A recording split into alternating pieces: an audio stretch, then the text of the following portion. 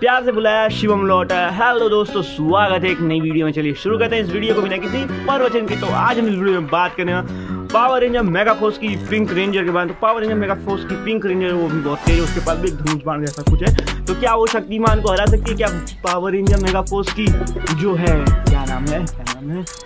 Pink ranger क्या वो शक्तिमान को हरा था? पावर रेंजर मेगा फोर्स की पिंक रेंजर शक्तिमान से लड़ी और ताकत के साथ भी लड़ी और हाथापाई भी की। तो शक्तिमान बड़े ही आराम से पिंक रेंजर को हरा देगा और खुद जीत जाएगा। और अगर आपको वीडियो पसंद आई तो वीडियो को लाइक, चैनल को सब्सक्राइब और हम मिलते हैं एक नई वीडियो में। तब तक के लिए जय हिंद। बाय बाय दोस्तों।